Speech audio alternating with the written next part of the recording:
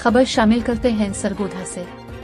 तहरीक इंसाफ की खातून रहनुमा सनम जावेद और आलिया हमजा मियाँ वाली हंगामा आरआई केस में गिरफ़्तार। पुलिस के मुताबिक 9 और 10 मई के चार मुकदमात में दोनों खातून रहनुमाओं को भी नामजद किया गया था। पीटीआई की दोनों रहनुमाओं को इंसदा दहशतगर्दी की खसूसी अदालत में पेश किया गया। इंसदा दहशतगर्दी की खसूसी अदालत के जज एजाज अहमद बटर ने चौदह रोजा रिमांड मंजूर कर लिया। पुलिस की जानब से सनम जावेद और आलिया हमजा के रिमांड की इस्तः की गई। इस मौके पर मियावाली पुलिस आलिया हमजा और सनम जावेद को लाहौर से गिरफ़्तार करके सरगोधा ले आई। सनम जावेद और आलिया हमजा को 9 मई के रोज मियावाली के थाना कमर मशनी, थाना मुसाखेल थाना सिटी में दर्ज दहशतगर्दी के मुकदमात में नामजद किया गया था।